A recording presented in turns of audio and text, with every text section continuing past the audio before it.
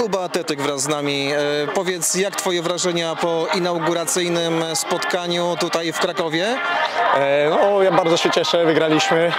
Zagrałem na zero z tyłu, to co jest dla mnie najważniejsze. Był to też mój debiut w drużynie. Uważam, że zagrałem dobrze, spisałem się, ale też muszę docenić e, kolegów z drużyny, bo gdyby nie oni, byśmy nie wygrali tego meczu i byśmy nie zachowali z tego konta.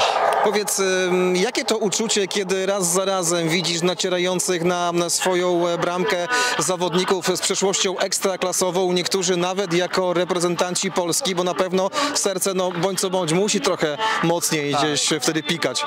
Na pewno to fajne uczucie, szczególnie, że jak byłem młodszy, to oglądałem ich tam w telewizji, jak grali w kadrze, czy tam na poziomie ekstraklasy, ale to dla mnie jakby jest fajne, nie? Dla mnie szansa się pokazać, e, żeby o mnie usłyszeli tutaj więksi piłkarze, co mają ze sobą przeszłość ekstraklasową i reprezentacyjną i dla mnie to tylko budowało, żeby jeszcze lepiej grać, żeby je, jeszcze więcej z siebie dać. Wykazałeś się dużą czujnością dzisiaj na e, przedpolu.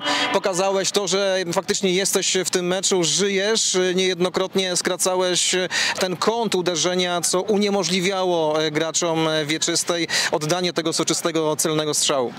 No tak, na pewno, ale tu trzeba, e, chciałbym oddać szacunek do całego sztabu, do trenera bramkarzy przede wszystkim, bo bardzo dobrze mnie przygotował do tego meczu.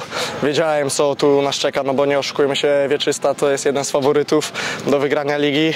Byłem gotowy, dobrze przepracowałem e, cały okres przygotowawczy i bardzo dobrze podszedłem do tego meczu, ze skupieniem i z jednym celem, żeby wygrać ten mecz.